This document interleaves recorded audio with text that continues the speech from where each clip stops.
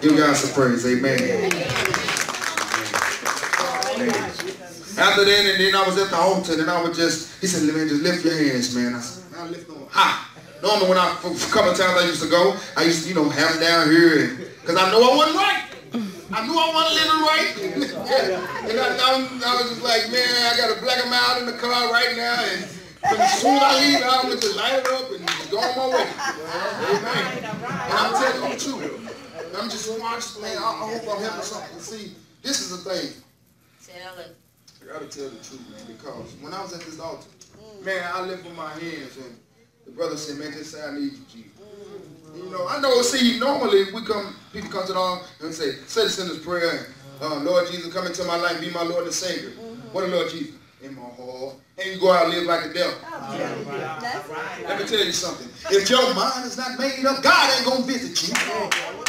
If your mind is not complete and say, Lord, if I if I can't have all of you, I'd rather die. If you can't have that type of mindset and say, Lord, I want all of you. I need you, Lord. Hey, higher. I was burnt out of female. I was burnt out of money. I was burnt out of everything. I was tired.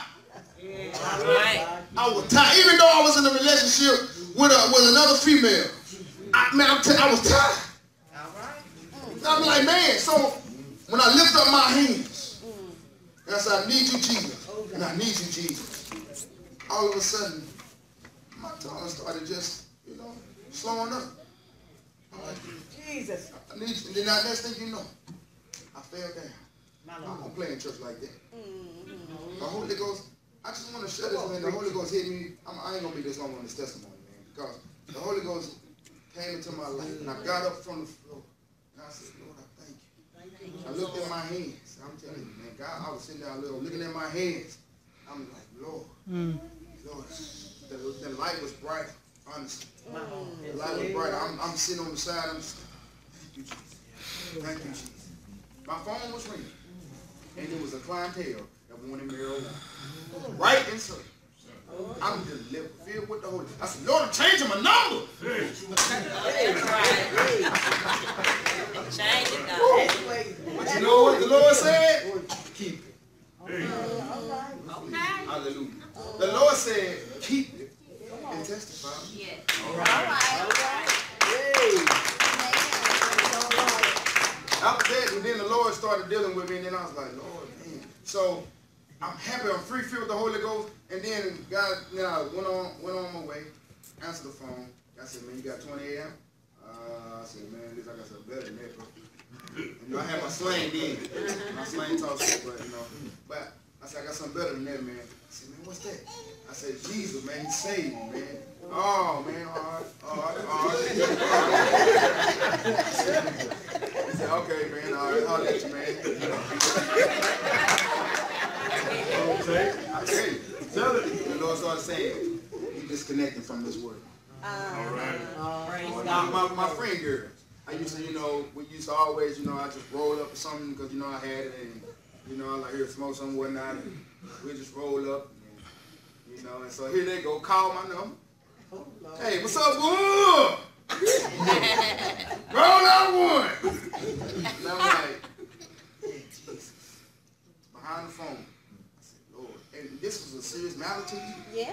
because I almost wanted to cry. Mm-hmm. Because I saw the truth for the first time in my life. Mm-hmm. I saw how lost I was. I saw how much I really didn't have Jesus. Y'all gotta hear what I'm saying. I saw how much boredom that I had in my uh-huh. life. When they were saying it, I felt like they were talking to somebody's phone. Mm-hmm. Because I was, I was, totally, I was totally different. I was like, no more selling. I said, I ain't going back to those streets. I said, I ain't selling no dope no more. I said, I ain't laying with no fit. I said, if a female come to me, I promise you, I cast the devil out of her mind. I said, she's going to get filled with the Holy Ghost. That, that was my attitude. That was my attitude. Because you know why? Because some can come into church, act like they say. I said, no, sir. I said, Jesus really saved. You want to know why? Because there was a female that I was talking with of the word. She was going to church. All right. But I know I was fornicating. Okay. Hallelujah. Yes. Hallelujah. Hallelujah. Hey. Right. I knew I wouldn't have lived. All right. But when Jesus came into my life, all of that stuff, I began to talk about Jesus so much over the phone. She said, Can you talk about something else? I said, There ain't nothing else I can talk about. But Jesus, that's all I want. Hallelujah. I didn't know what, I didn't know what else to say. I said, But Jesus. She said, Okay, I don't know if it's going to work. Hallelujah. Glory, go on. Hallelujah. It don't matter to me. I thank God for my wife on this hour though because see, Hey, she's she, she, she's really been with me side by side. Amen. Glory to God. Amen. Amen. It's, it's, a, it's a woman of God got delivered through my testimony, testifying somebody I was of the world with. And, um, you know, the Lord is leading me just here, you know, because, you know, I know this is a soothing crowd. And I tell you, man, God's that. I want to get back into this text, honestly, if I can, just a few more minutes. And um, God bless you. Amen. And so um, I just wanted to testify before I get in. And, you know, God delivered me from a whole lot, but amen. We'll talk about another time, amen. Let's get in here. Um, so in here it says, you know, that you know, we're gonna go to the book of Ezekiel 33, 5 through 9. We're gonna go into correlation with what we just got to read it pretty much. Amen. Y'all all right in here? Amen. Amen. I'm glad you got your. Bibles. Amen. Glory be to God. Yeah, Got your we Bibles. Amen. Amen. Amen. Amen. Amen. So now, when I first got saved, I tell you, I broke out in sweat, and God led me to Ezekiel, Bishop. He led me right into um, Ezekiel. This, this is another testimony. He led me right into Ezekiel, and I broke out in sweat reading about. it. I didn't know what was going on. Broke out. My mother wasn't at the house. They were just, and I was reading out loud. For a second, I was just reading to myself, and I started, and I, and I just couldn't stop reading. And I just kept going through the page. and I was like, Lord, gee, it was just burning. I'm like, yes, Lord. I ain't know why I was saying yes. Okay. But let me read. It says in verse 5. He heard the sound of the trumpet, Oh, yeah. took not warning. His blood shall be upon him. But he that taketh warning shall deliver his soul. All right. But if the watchman see the sword come, and blow not the trumpet, and the people be not warned, mm-hmm. if the sword come and take any person from among them, he is taken away in his iniquity. But his blood will I require at the watchman's hand. The responsibility is upon the preacher. It's upon those that are called to warn, called to expose. When, the, when people say it's about love, don't get this misunderstood. There are two different types of love. Let me tell you. The Bible said, for the love of this world, people will take care of their own. If you are of this world, people will love their own. But the Bible said, for God so loved the world that he gave his only begotten son. But we always say, well, you know, we, we, we love more and judge less. What about what Jesus said, judge righteously? All right. Come on, Say that. What about that? Amen. Say that. He said, judge righteously. Righteous. You can't build a house if you don't judge righteously. You can't put your shoe on the right feet if you don't judge righteously. You can't put your shirt on right if you don't judge righteously. You don't want to go outside your own household any kind of way. All right. Say that. You don't want to go on an interview with your hair undone. Right. Because you're judging yourself righteous. That's why the Bible said in James, don't leave looking in the mirror and forget how you look. All right. Say that. The Bible said, don't just be hearer of the word, Be but doing. be doers. Yes. And a doer is a producer of his word. Yes, sir. and first thing you're going to produce is not in people. It's going to be in your own life first. All right. That's Amen. good. You're going to bear fruit in your life first. But you know what's going on in this generation? It's so much distraction. Yeah. It's so much stuff that is on TV that is not pertaining to the true gospel of this message. Too much. Come on, come on. The Bible says all sinful nations have gone the way backward, That's the word. Have forsaken the laws of the Lord. As I look and I say, Lord, why I'm here? When I read this scripture and I ask God, use me, Lord. And then all my friends, they have gone and left. But I'm still standing in the word of God. Because I know everything else is going down.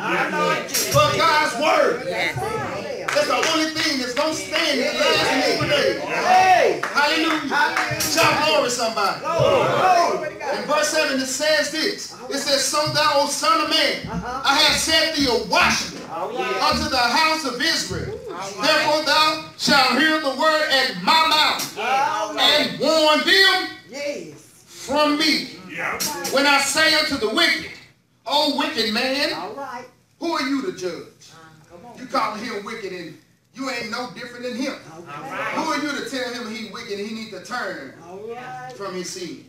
All right. You better watch who you listening to. Because I promise you, you're going to find out yourself in a place that you don't want to go.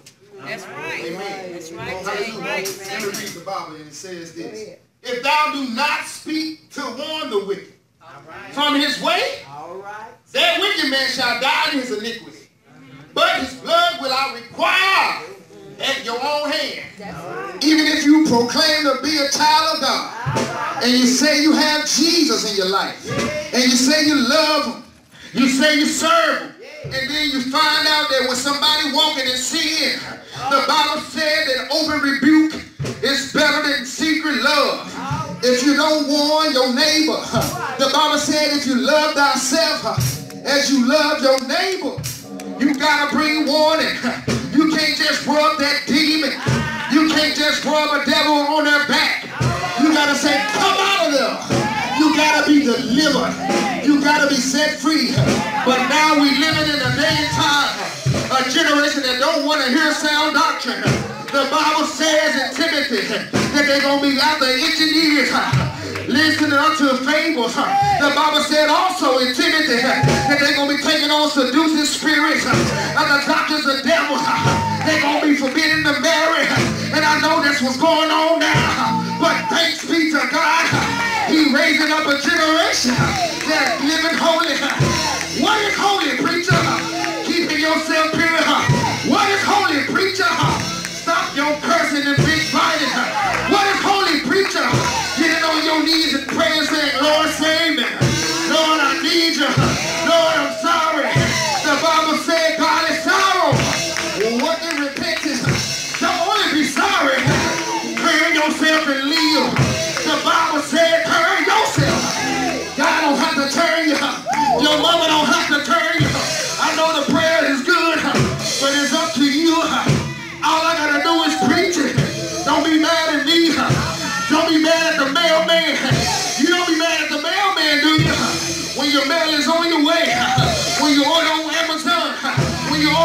Order on.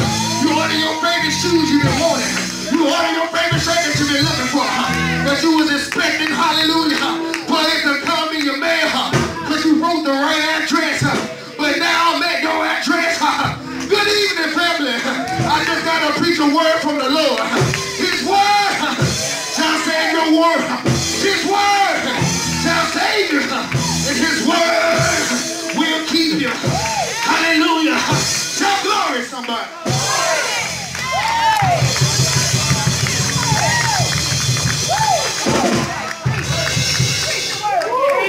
Hallelujah.